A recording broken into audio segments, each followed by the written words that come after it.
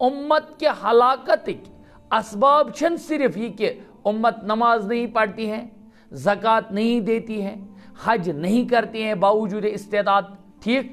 روز چھن تھاوا نہ نہ نہ۔ ایتیت نہ، بلکہ ہلاکت بوڑ سبب چھ بوڑ سبب چھ ونکس امت کہ امت چھ بیسک یس نصاب چھ اس خاطر سہ قرآن پاک اسی کو بھولی بیٹھی ہے۔ قرآن، نماز کپر پہ حج کپر کر یت مز تمس ضابطہ اصول بیان کرت ابھی قرآن پاک کو ضابطے ہی کے اعتبار سے وہ بھولی بیٹھی ہے۔ چنانچہ شاعر توے ایک جائے ونہ دپا وہ زمانے میں معزز تھے مسلمان ہو کر، ہم خار ہوئے ہیں تارک قرآن ہو کر۔ تارک بمانا چھوڑنے والے، کیا؟ چھوڑنے والے۔ ہم نے قرآن پاک کو چھوڑا، بس۔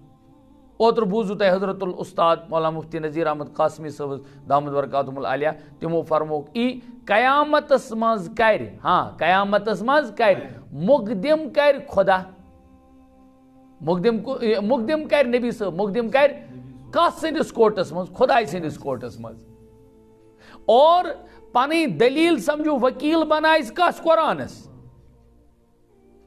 وقال الرسول، یا رب، ان قومی اتخذوا هذا القرآن محجورا اے مین خدائی، یہ چھی سہ قوم، یمو میون یہ قرآن اس ترومت کیا پس پشت۔ اور حدیث پاک مز یہ قرآن چھ مین تہند خاطر عروجک سبب تھی کیا چھ؟ عروجک سبب۔ اور مین تہند خاطر، بلکہ کائنات مز امت روزن والن خاطر چھ زوالک سبب تھی یہ کت پہ بن زوال عروجک چھ سمجھ زوالک زوالک ات پہ یل امت یت پس پشت ترائی یہ آو علیکہ حدیث پاک چھ یا سے قرآن تہند خاطر حجت تہند خاطر دلیل چاین خاطر بنی یہ تت کیا دلیل یہ کری چاین خاطر لڑ نت نت بنی یہ چاین خاطر کیا زوال تو وبال دبس میں نے پرستی نزا اس لیے نیر خدا سوال آج می چھن تے تعلق دٲری